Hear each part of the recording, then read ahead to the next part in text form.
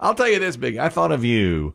Christian was telling me something new about you. Just that uh, drink. Then you were talking about Starbucks a minute ago. Yeah. Now listen to how simple-minded I am. Uh, Starbucks is doing a new thing. Kristen was just reading about it. Well, they'll bring your drink to the car. Is that right? No, that- it's it's Target.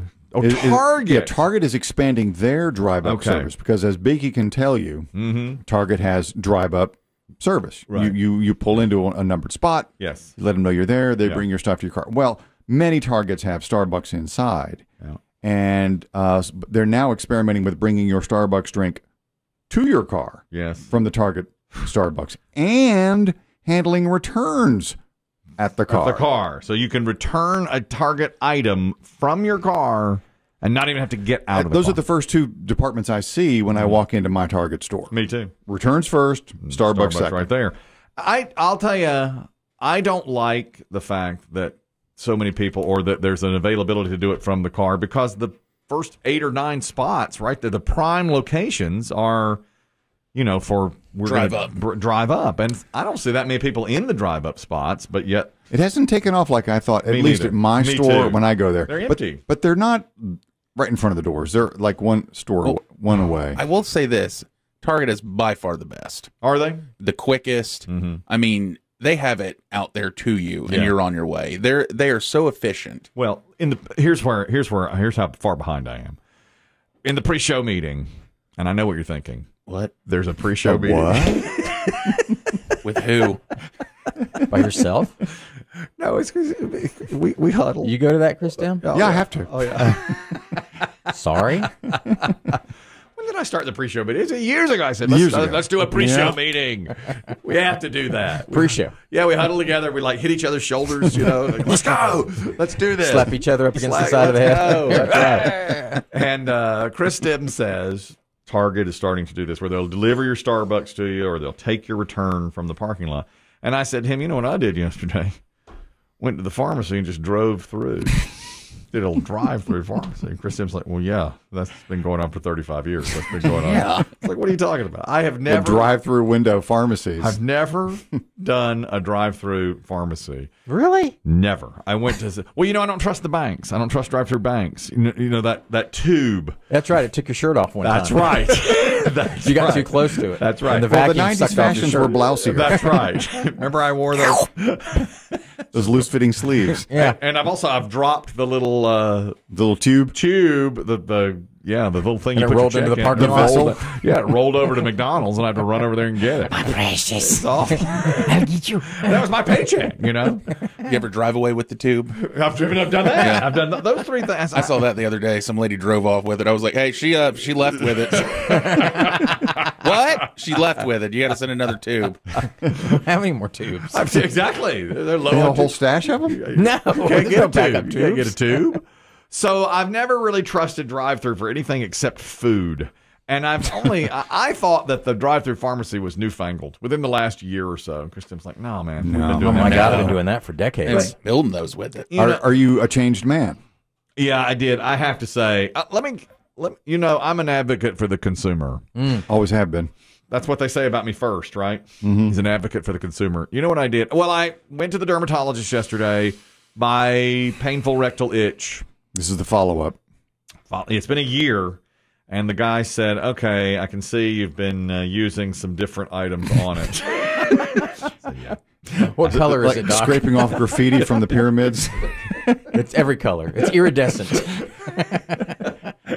He said, "Yeah, you've been using a lot of stuff back there." I said, "Yeah, I have." He goes, "Let's hit it with a two pronged attack. I'm going to give you two different medications. Use one in the morning, one at night. They're topical. They're Okay. Okay, so it's prescription stuff." I said, "Okay." So I get home. Uh, it's called into CVS. A couple hours later, they say your your uh, prescriptions are ready at CVS. Ew, they're ready. hey, it can't say ooh, can it? yeah, your butt cream's ready. Ew. Gross. Come Wait, wait, wait, wait, wait. There are two It's a cocktail. How many butts does this guy Yeah, so have? it's like a cocktail Yeah. for your butt. I'm trying One it for each all. cheek. Trying it all. so I didn't want to show my face in the CVS. So I said, "Well, God, I'm I'm driving through on this, but at least there's that." Do you wear a mask and sunglasses? Yeah, I put yeah, ski mask. Right way. And uh, anyway, my wife had said ahead of time, "Have you seen the commercials for this GoodRx? Do you have the GoodRx Oh, yeah. app? That is a big deal. I didn't realize what a big deal that was. This is new it. I don't use it. Let me tell you what happened. My wife said." You need to download Good RX. You might get a, a coupon. You might get a deal on this medication. I said, okay. I was like, whatever. You know, I thought when she said it, I was like, all right, whatever. You know, Yeah. what are they going to give me off of this? So the first cream, she said, it rang up through your insurance at ten dollars, and that's what GoodRx has. Okay, fine. The second one, she said, it rang up first at sixty five dollars, and your with your insurance it's forty eight. And she goes, that does seem high. Why don't you try that on GoodRx? The pharmacist told me this, mm-hmm. so I did twenty dollars. I mean, it saved me that much money. It was it went from forty. Why does it have to be that way? I don't know. I Yeah, don't well, know. I don't know what it is that GoodRx does, but everybody seems on board with it. I know. I I don't don't know if the pharmacy companies are happy, but Well, well, I brought it up. My wife says. I, I mean, big pharma. Oh, I agree. But my wife says the pharmacist usually doesn't. bring it Pharmacists up. are good about it. I brought it up to her, and she was like, "Oh yeah, download it, see what you can get," and I did, and uh, it worked. I've had pharmacy tech say, "Hang on, let me let me find you a coupon." Mhm. Yes, Isn't that They're nice? good about That's it. nice. at, at our store. And I said, "Well, how does who makes money, and how do they make money?" And my, we don't know, but it worked. I mean, it worked for us. I don't know how it works. I I'm don't a know why we have to consumer- do it. I'm a consumer advocate. Yeah, it's a strange little dance. Well, I would say it's worth it to get that good. Oh, RX. yeah, it I didn't like know it. it, was. I, I don't have it. I didn't. Well, get it right now. You should get it because I would have paid in excess of seventy five dollars For butt salve. for butt salve, and I was down to thirty. So what's back there? What do you say? You know? He looked at Is it. it an infection? no, he just said it's irritation from I know that.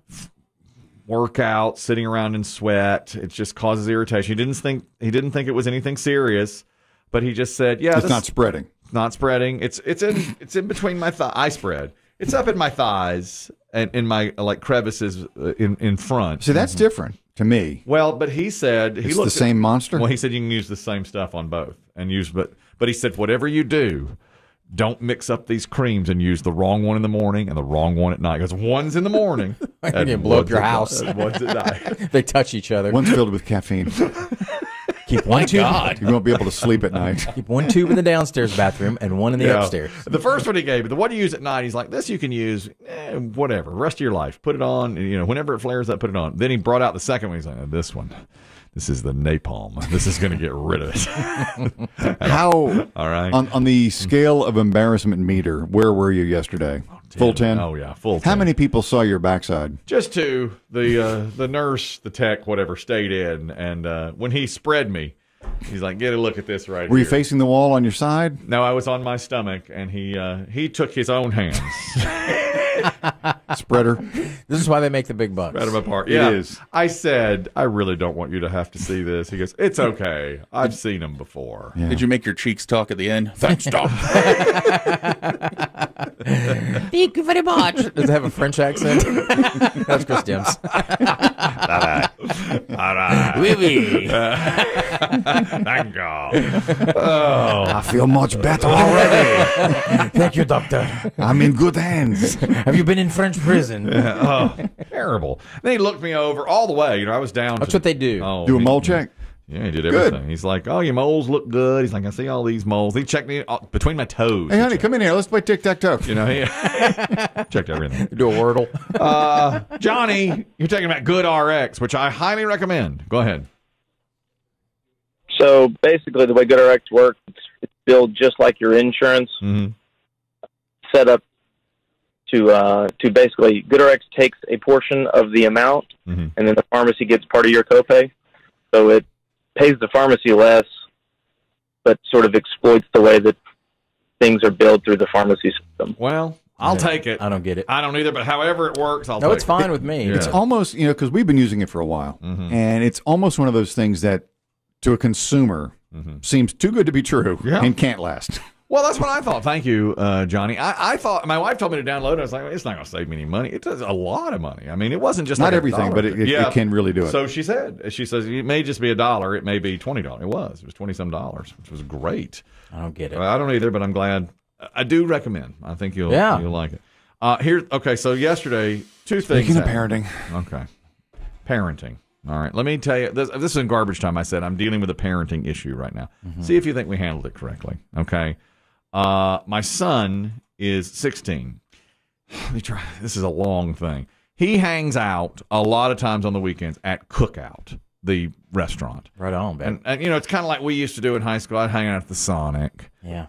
drive up and down, cruise Fayetteville Street, we used to call it, you know. Well, he and his friends hang out at Cookout In the parking lot. in the parking lot, and they're there. He's at curfew is eleven, and you know we track him on the. Now you can look at an app, see where he is. Sometimes he drives somewhere else for dinner or whatever, and then he comes back to Cookout, he drives to dinner. and picks up his friends and all this kind of stuff. Then drives around, and then he goes back to Cookout, and you know I don't know how much really freedom to give, but I see him all the time, and in the.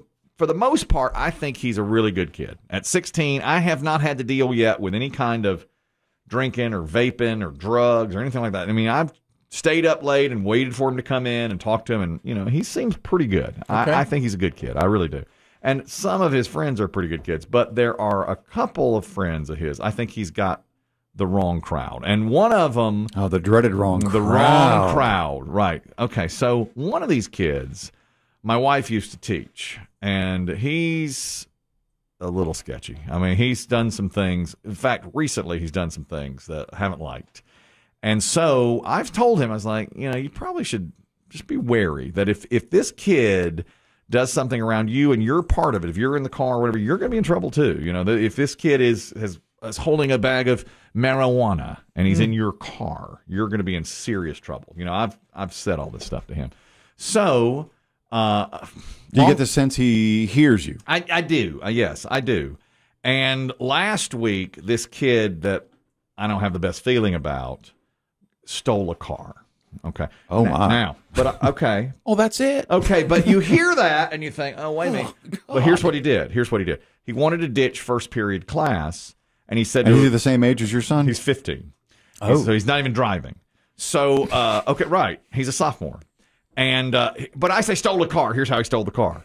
He wanted to ditch a class first period, and he said to a girl, this girl said, Well, let's go hide out in my car. Here's my keys. Go hide out in my car. Hmm. So he got in the car. He drove around. He left the school in the ah. car. So hmm. she looked outside. She's like, My car's gone. And everybody's like, Oh, he stole the car. Okay, but not really, you know? Yeah. And my son, so my, so we said to my son, It's like, This kid stole a car. And he goes, Not really. You know, he was given the keys. He's given the keys. given the key, He's given yeah. keys. So our deal was, okay, you can't hang out with this kid anymore. And mm-hmm. my son says that's impossible. I love to go to cookout with my friends. He's my friend. He's going to be there. So my my son leaves the room. My wife says, "We'll decide." So she turns to me and she's like, "What do you think?" And I said, "Well, he's in a tough position here. I mean, he has got good friends that go to cookout and they're tight and they're good kids, but." This kid is going to be there. I was like, I've been 16. I know when you're in a group setting, the kid's going to be there. You know, like, what kind of position are we putting him in? And so we decide, okay, you can hang out, you can be there. This young man cannot be in your car, is what we say. He cannot ride, even if you, you can ride in a car with him, but he can't, you can't drive him. You can go to the same places, just right. not together. That's right. And as he was, he can't drive him. Okay. The he, and he agrees to that. He's like, okay. And we said, look, if you do this, we're taking your car for a while, for Yeah. a couple of weeks. We're going to take it away. During this conversation, Kelly, was were voices raised or was it kind of It calm? It was pretty calm. Good. He said a couple of times, "You're putting me in an impossible position." And, It's that- pressure. Uh, it's pressure. And I said to him, "Okay, I get it, but you can't drive me anywhere." Okay. So, one day later, they have a couple of days off school this week. So one day later, that conversation was like Saturday. Well, Sunday we see we're tracking him on the app. He's at Cookout. Well, all of a sudden he's downtown, which is what six miles from Cookout. You know the area. Okay, he's down near where we are. He's tooling around right around the radio station. Looking at the big buildings. Well, yeah. Well, they took pictures from a parking garage. They still they they took pictures of the skyline. So he gets home and everything. I stayed up. I was up late. It was must have been Saturday night. So I said, uh, what, you, "What you doing downtown?" He goes, "Oh yeah, taking pictures from the parking garage. Awesome. This and that." Okay, fine, great. A couple of days later, we get word that kid was in his car. He drove, and that kid was in his car. Was this Kelly, as we like to say in the game, reliable oh, intel? Oh yeah, we got reliable intel that that kid was in the car. Okay, It's nice you got somebody doing some recon for okay, you. we do. We had somebody doing some recon. They I didn't didn't like recreate a music video, did they? They're not like Tupac and Dr. Dre redoing California Love. There's video. we got it on good authority. It was in the car. Your son driving this kid hanging out like Tupac. All right. So now my son comes home with his best friend. His best friend is in his car, just the two of them. Okay, it's the afternoon, and and we think that he's driven this kid we don't like around. My son comes in. I say, "Hey man, when you went downtown the other night, you know who went?" And he names all these names, but does not name that kid. And I said, "Well, did you drive?" And he goes, uh, "I drove one car. There were two cars." And he's like, "We had a good time." And, and he's like, "I got to bounce. I, I got to go." Your son said this. Yeah, he goes, I got to bounce because his best friend was in the car. And I said, but I said, so so and so wasn't there. I can't give his name. I said, Yeah, so and so wasn't there. He goes, no, he wasn't there. He didn't go. I said, okay. And uh, my wife says, let me go talk to your friend for a minute. Well, so he's going out. So Oh no, the separate interrogation room. interrogation. Oh, I watch Law and Order. Okay. oh no. So my wife says, "Is there anything you want to tell me before I go outside and talk to him?" My son's like, mm, "No, it's fine. Everything's fine." Did he seem cool, Kelly? he seemed cool. He seemed cool. So my wife goes outside, and my son, while she's talking to his friend in his car, now this boy's in his car, my son goes to the window and goes, starts waving. starts The throat slashy yeah, the gesture. throat slashing gesture. well, the uh, the finger, the yeah, yeah, yeah, yeah, well, gesture. Yeah, well, this He spilt. unbeknownst to the other kid, he's like, yeah, so and so was there. Yeah. Yeah, of course. Well, who drove? Well, Of course he son. was. He rode up front. Yeah. Okay. So we get back inside. My wife's like, "You are fried." You and and she sent the other kid home. His parents came to pick him up. Okay. So my son says, "You don't understand." He rode downtown with a different car, and then on the way back, the girl who drove said, "I want to be alone with my boyfriend," and left. So either I was going to strand him downtown, or I had to give him a ride. It's like I was in an impossible position. I was in, it was impossible. Either he's going to be stranded here downtown, or I had to give him. He's like, it's the one time it'll ever happen. So he explains, explains, explains. My wife is fit to be tied. The boy leaves the room. I turn to my wife and I was like, he was in an almost impossible position. She goes, "Don't you believe a word? Don't you?" He, she's like, "Don't you be so gullible." So we decide to punish him by taking the car for a week and not letting him hang out at the cookout for two weeks. Hangout privileges. Hangout privilege is gone. All right, so all that is done. He begs and pleads and begs and ple- all that stuff, you know. So it's done, and then I say to him, when it's all done, I said, "I want you to tell me, did it's the punishment's done?" And I said, "But if I find out you're lying again, it's going to be even worse. Did you really? Did he really get stranded downtown, or did you drive in both directions?" And he goes, "I drove in both directions." So he drove him from and to and from, and uh, I said, "Boy." That is disappointing. That it, It is. because I went to bat for him. I really did. I was mm-hmm. like, "He's." I've been sixteen. You bought that elaborate house of cards story. I did. And your Yeah. wife saw through every inch of it. as, as she always does. Every inch. As she always does.